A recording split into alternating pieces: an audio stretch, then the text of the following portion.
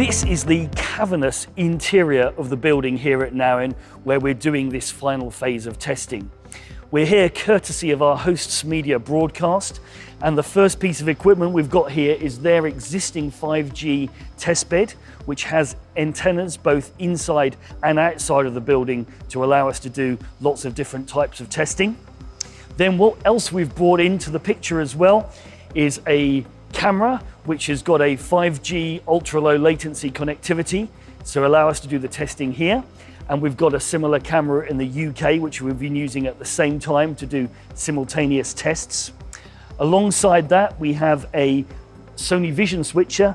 This is actually just the control surface because the exciting other part of this demo is that both the camera feeds from here and from the UK are being long lined down to Frankfurt, which is some 500 kilometers from here.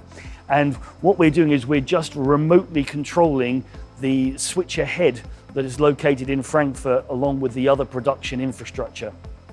Then we've got a variety of other pieces of test equipment which we're using to actually qualify both the 5G performance at the data connectivity layer and the audio and video professional broadcast connectivity that sits on top of that.